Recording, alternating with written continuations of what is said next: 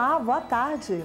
Na semana passada, nós começamos a série FITEC 2008, mostrando para você o que aconteceu esse ano na Feira de Tecnologia da FAI, onde os alunos de Administração, Sistemas de Informação, Pedagogia e Normal Superior mostram toda a sua capacidade empreendedora através dos projetos que eles desenvolveram durante todo o ano. No programa de hoje, você irá conhecer alguns projetos desenvolvidos por alunos de administração na área de alimentação. Percebam a inovação e o diferencial que esses projetos oferecem para o mercado. Gente, cheguei aqui agora num lugar que é a perdição dos regimes da mulherada. Esse estande realmente é uma tentação. A gente vem andando pela feira e de repente depara com um lugar como esse, gente bonita, né? Vestidos de mestre Cucas com as cores do Romeu e Julieta, a famosa e já conhecida goiabada com queijo.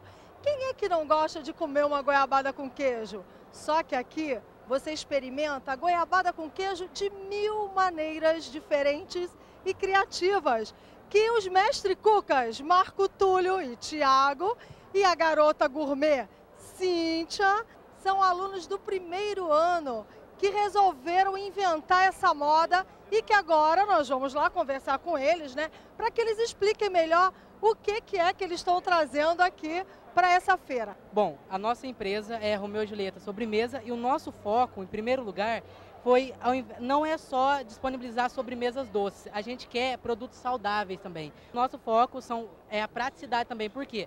A, a maioria das vezes, para você formar o Romeu e Julieta, você tem que comprar o queijo e a goiabada separados. Agora não. Através de bolos, pudim, sorvete, tableta, você encontra tudo junto, disponibilizado por nós. Posso mostrar? Então vamos lá. Gente, ó, aqui nós estamos vendo um bolo. Ele foi feito de goiabada com queijo? Explica aí. Explica essa receita. Essa aí foi uma receita praticamente só com a goiabada e o, e o queijo. Aqui nós temos tabletes, né, já prontos de goiabada com queijo, embaladinhos. Então você já pega a sua embalagem prontinha para comer numa única um, bocada. Você come todo o tabletinho. Aqui é um pudim, explica esse aqui pra gente. Esse é um pudim de queijo com goiabada, tem aquele pudim tradicional de calda. Então, o nosso foco foi ele. Só que ao invés daquele pudim de leite condensado, é o queijo a goiabada no meio. E ao invés daquela calda de açúcar, é a calda de goiabada. Sorvete Romeu e Julieta. Agora eu quero que a Cíntia explique esse sorvete aqui. Cíntia, ele é feito de quê? Então, o nosso sorvete, ele é feito de, é, de leite condensado, só que com os pedaços de queijo e goiabada no meio. Nossa, isso deve ser muito bom. Você está com vontade de experimentar?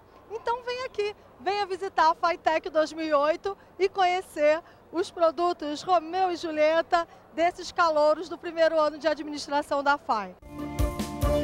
Bom, gente, eu acho que esse trabalho aqui acertou no nome do produto deles. Por quê? A gente vinha andando, procurando um stand para mostrar aqui na FITEC e de repente chamou a atenção, pastel de vento. Ué, o que, que é isso? Pastel de vento? Será que é um pastel que não tem nada dentro? Mas não, era só para chamar a atenção né, para esse projeto aqui, um plano de negócios do primeiro ano de administração, que é uma pastelaria delivery. Você liga e recebe o seu pastel na sua casa. Olha, eu quero saber se tem recheio ou se é de vento mesmo, hein? Não, os pastéis têm recheio sim. É, são recheios diferenciados, tanto doce quanto salgado, que nenhuma empresa ainda fez na região aqui ainda. O que que nenhuma empresa fez? Porque pastel doce e salgado existe, né? A gente, além desses pastéis que a gente colocou à mostra, temos pastel com açaí, vai com acompanhamento do açaí, o pastel com sorvete, né? E além dos tradicionais, que continuam, bacalhau, salgados, né? E o mais interessante é que os produtos são vendidos em kits, é, estilo McDonald's, né? Então a pessoa pede o kit e o kit é entregue na casa dela. Quer dizer que aqui no Pastel de Vento eu estou na minha casa assistindo um filminho, né? Ou então de repente chegaram uns amigos lá em casa, eu não tinha nada para oferecer. Eu ligo no Pastel de Vento rapidamente, né? Com a moto, mostra ali a moto, né?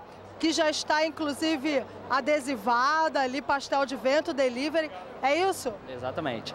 É, você está dentro da sua casa, sem ter trabalho de pegar, mexer com gordura, você pode pedir o seu, seu kit que a gente está entregando.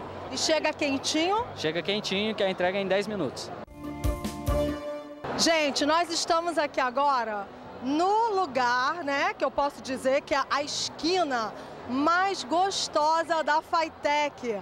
Por aqui só passa gente que está com vontade de experimentar algumas delícias que os alunos da FAI, os empreendedores da FAI, trazem aqui para a feira. Então nós vimos o pastel de vento, aqui agora tem a pizzaria Forno Real, que está sendo mostrada aí para vocês. Vamos passar aqui na frente, mostrando para vocês ah, os meninos todos lindos aqui, arrumadinhos de mestre Cucas. Mais aqui à minha direita, mais um projeto de gostosuras, frigideiras, do tamanho de sua fome. As alunas, os alunos de administração da FAI desde o primeiro ano, aprendem a importância da identidade visual, do marketing, da comunicação para vender os produtos, não é isso, gente? Na verdade, Frigideiras é a primeira é o primeiro fast food de pizza fritas que a gente propõe aqui no sul de Minas Gerais, né? O conceito de fast food ele ainda não existe para a área de pizza, por isso que a gente vem inovar nessa questão.